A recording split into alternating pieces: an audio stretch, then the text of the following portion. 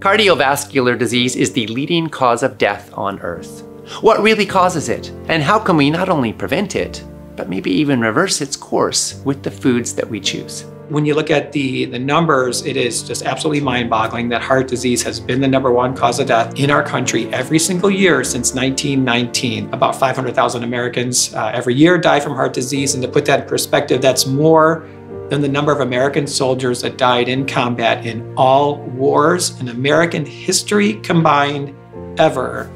One year of heart disease deaths. My mom developed congestive heart failure. I remember her reaching for something, and I would say, No, don't let her have that. And they're like, Why are you stopping her? Just let her have it. It's just a little of this, it's just a little of that. That little something kept adding up. That addition, those little things that kept adding one more thing and one more thing was what took my mother's life away. And that's where I think lifestyle intervention really is powerful because, you know, people will tell you there's only two ways to learn, right? One's through pleasure, one's through pain. And heart attack, pretty painful.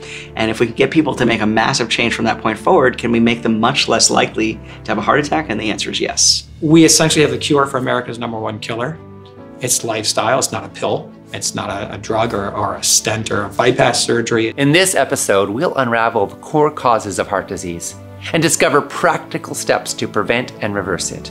You'll learn about the role of antioxidants, fiber, and other nutrients in promoting cardiovascular health. We'll clear the confusion about saturated fats, trans fats, sugar, salt, and processed foods. What you learn will help you add years to your life and life to your years. Learn how to eat for your heart. Say yes to the future you want.